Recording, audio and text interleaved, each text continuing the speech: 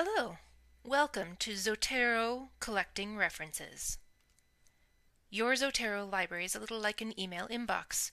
You can create folders called collections, you can tag items, and you can open up each item to show more information and any attachments that it might have. Everything in your library is visible if you click on My Library but it's likely you'll want to have some folders to help you see what's relevant to a particular topic or course. I also recommend that everyone have a temporary folder, or name it maybe something like an inbox folder. This is where all your new references will go before they get cleaned and sorted into their permanent locations. This is so important because, like any other computer system that is trying to connect a bunch of websites and digital systems, there's simply no way that every record you collect will come across perfectly. You'll have to check everything you collect, so it's a good idea to have an easy way to see what still needs to be checked. So let's get started. Let's create a collection. You can create a new collection by clicking on the yellow Collections icon and give your collection a name. If you want to create a subcollection, right-click on your collection and click New Subcollection. Give it a name. Now you have a collection and a subcollection. Now let's put some items into your collection. We do that, for the most part, using the browser connector. In your browser, if you've installed the browser connector at zotero.org slash download, you'll have an icon.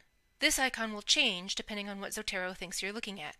Right now it thinks I'm looking at a result list, and so it's showing me a folder. You can click on the folder and then say which items from the result list you want to have included in your collection. Zotero will do its best to find all the information as well as any files, such as PDFs, that it can find. If you're on a single file, Zotero will change its icon to look like what it thinks you're seeing. In this case, it thinks I'm looking at a video, so it's showing me a camera lens. In this case, it thinks I'm looking at an article, and so it's showing me an article and it's doing its best, and it found the PDF.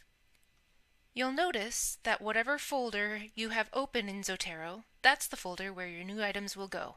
So I always click into my temporary folder before I start doing my research for the day. In addition to using the browser connector, you can also drag a PDF into Zotero. It will then do its best to find information about that article. Oh look, it found a bunch of information. I'm going to want to edit this because I don't want things to be in all caps, but at least I don't have to start from scratch. Sometimes you'll pull a PDF into Zotero and it won't be able to find any article information. In this case, you can right-click on the item and say Create Parent Item. Now you can tell it what type of item this is, in this case a journal article, and you can begin typing in title, author, etc., etc. Now you'll be able to cite this in your papers. You can also add items manually. Let's say you're reading an article and you come across something in its bibliography and you'd like to add it to your Zotero collection. Simply click on the green plus sign and tell it what kind of item you'd like to add. Then you can start typing and you'll be able to use this item in your papers. Let's say you have an item that does not have a PDF and you'd like to attach the PDF. If you've configured Zotero using our setup instructions, you'll be able to use Library Lookup. This acts like the Find It button. And in this case, it turns out we don't have the full text through the library, but you can get it through interlibrary loan. Once that interlibrary loan comes, you'll be able to take the PDF that you received and drag it onto your Zotero collection. Now the PDF is attached to your article information. I mentioned before that you're going to want to clean up everything that you collect.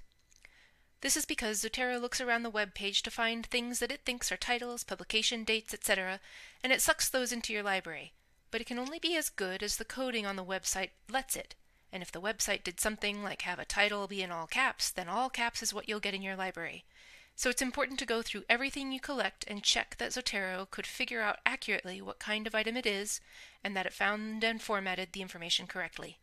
The most common things you'll have to fix are changing the item type, Sometimes it'll come across as a web page when it's actually a, a book or an encyclopedia article, and you'll want to change that there so that the citation will configure correctly. Oftentimes, you'll find things that came across in all caps. At this point, you'll need to retype those using regular sentence case. Often, though not in this case, there's an extra space in front of the colon that comes before a subtitle. This would be a good thing to remove. And as always, if you have questions or want help, please contact us. We're here to help.